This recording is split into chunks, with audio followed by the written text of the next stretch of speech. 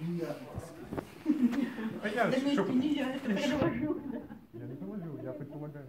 Ну просто я, я до, до таких обвинений, да просто, эксперт сказал, что там земля стоит на четырех слонах, там, или черепахах, и не знаю. Ну, знаете, так вот, бы, э, обвинения политические.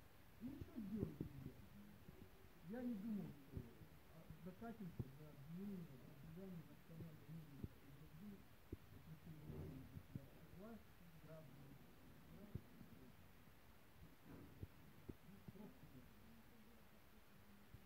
очень ужасное впечатление.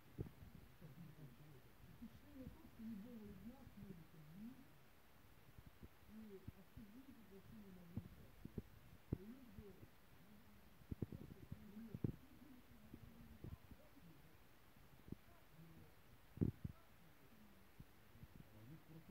просто нет.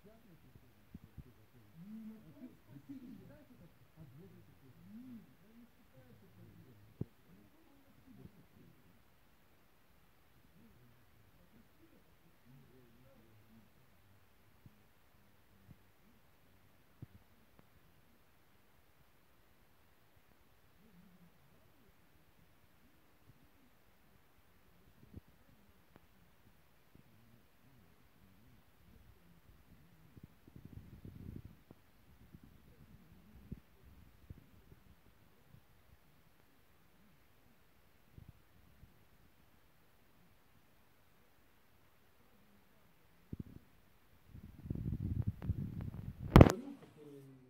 конституционным правом занимаюсь, международным правом. То есть речь идет об уникальных ситуациях, когда э, конвенция европейская, ее истолковании Европейским судом, э, вступает буквально в противоречие э, с Конституцией Российской Федерации. Ну, допустим, по вопросу избирательных прав осужденных, заключенных.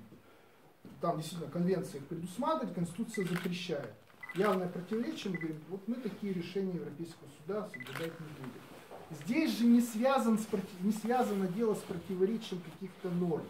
Здесь дело связано с различным истолкованием фактических обстоятельств дела. То есть в любом случае, вот допустим, обвинение считает, что Лакжининова злоупотребила своим, э, свобо- своей свободой мысли и слова. А Европейский суд скажет, нет, это в рамках свободы мысли и слова. Она им не злоупотребляла, в рамках допустимой критики властей и политики. И тут нельзя будет что-то, в общем-то, сделать, потому что никаких, в данном случае никаких противоречий между Конституцией и Конвенцией в принципе нельзя будет установить. Их просто не существует. Тут противоречие будет именно в конкретных обстоятельствах, в подходах к их оценке.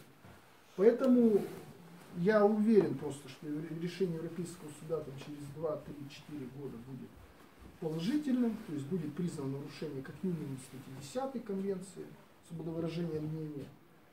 А, И, соответственно, моя подзащитная будет оправдана, потому что решение Европейского суда по правам человека, которое, э, которым признается нарушение э, то- того или иного права, гарантированного Конвенцией, в силу норм Уголовно-процессуального кодекса является безусловным основанием для пересмотра э, приговора или судебного решения, неважно какого, там, по гражданскому делу, по вновь открывшимся обстоятельствам.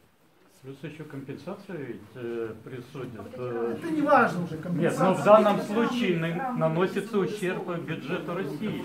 А и подробно нигде нельзя узнать это, исходя из практики наших судов, практики Европейского суда. Невозможно, их не существует, потому что все, все ситуации разные, абсолютно уникальные. Каждая ситуация абсолютно уникальная. На самом деле. Вот если, допустим, она какую-нибудь свастику разместила и сказала смерть русским там и евреям, например, Европейский суд, конечно, бы сказал, нет, ребят, так нельзя. Но это разные ситуации. Кажется, что выиграет все. Они эти маски, они прошлого были. А, они, я за нее рад. Они же Нет, я на самом деле интернет-провайдера ко мне Человек боится за свою безопасность. Боится, утром. Пять, наверное, человек, которые предъявили мне судебное постановление на обыск и начали, в общем, полный ремонт квартиры, то есть как бы как у преступника или там кто-то, кто содержит там наркотики или что-то полностью, э, белье, там одежда, все технические средства, и как бы вот мне удивленно предъявили в том, что я являюсь ну как, подозреваемой в разжигании вражды и ненависти, как бы Они представились сотрудниками интернет-провайдера? Они, да, они представили, они пришли как под видом интернет-провайдера, да. Ну вы им когда дверь-то открыли, они Ну, сразу когда, раскрылись? нет, они были в штатском, как бы, они, ну, гражданском, то есть они мне зашли и предъявили вот эту бумагу. М, Начали обыск, то есть, ну, как бы обыск, вот они вели все и понятые, и всякие, то есть, непонятно понятые, то ли они были из ФСБ, то ли из органов там следственного комитета, ну вот. так. Что все-таки их смутило, Екатерина? Ну, что за ролики там были или вот Нет, я в данном цитаты, случае- которые... Вы, вы знаете, их смутило то, что вот тогда вот это все закрутилось, и, наверное, они как бы наблюдали в 2014 году летом, то есть это все вылилось где-то осенью, где-то перед Новым годом. Я считаю, было очень даже такая у нашего государства уверенность, что мы дойдем до Львова и будем, так сказать, и пойдет быстро, и международное сообщество это проглотит как, ну, как нашу внутрироссийскую проблему. Ну, я считаю, чисто меня как может, во-первых, дезорганизовать и спровоцировать человека, который не согласен с официальным мнением Кремля, а во-вторых, я считаю, что это кому-то нужны были на этой почве по разнарядкам звездочки на погонах, потому что все эти товарищи, Духовник, Лисовский, которые руководители, следователи его, непосредственный э, руководитель Лисовский Духовнева, они все получили повышение по службе. Ну, как бы, как в 1937 году, то есть выхватили человека, осудили, расстреляли, за это получили повышение там.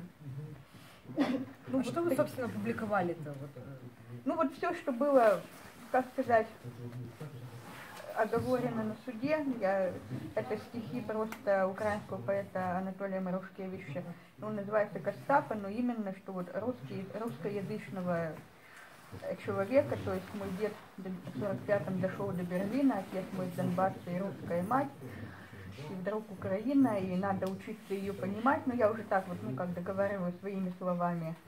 Вот. Потом обращение, то есть как бы к россий- русским националистам, которые пошли воевать на стороне, на Донбасс на стороне российских террористов, как бы то, что обращение к ним, что не позорьте Россию и русский народ. Ну, в таком ключе, то есть как бы вот это все гуляет в интернете, это не терро- э, как бы экстремистской литературы, не списке экстремистских там сайтов, то есть это все буквально вот до сих пор гуляет свободно по интернету, любой может это выхватить и ну, есть, ну, как бы меня нашли как слабое звено, что женщина, мать-одиночка, что можно легко, так сказать, юридически не особо грамотная, вот. Ваша позиция все-таки она просто антивоенная, да?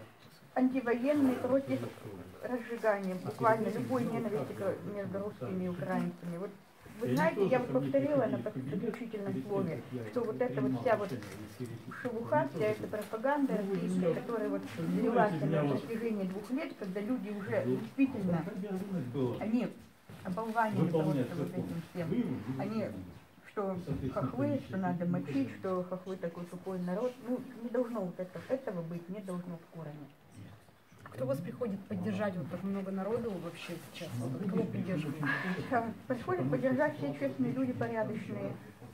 Среди них есть и, и журналисты, есть и музыканты, есть и просто интеллигенция, которая не все равно. Все-таки мы как бы все вот наше поколение, дети 90-х, дети свободы, веяние свободы, когда уже пал железный занавес, когда мы как бы устремились в мировое сообщество, то есть людям, которым ну, не все равно, что будет Родина и с нами, как говорится.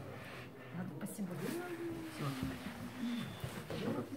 Хотя, другом счете, националисты русские не воюют, самое пиратство, потому что сам русский националист. Только если с другой стороны, например, Можно уточнить, у вас сын, дочка? Дочка.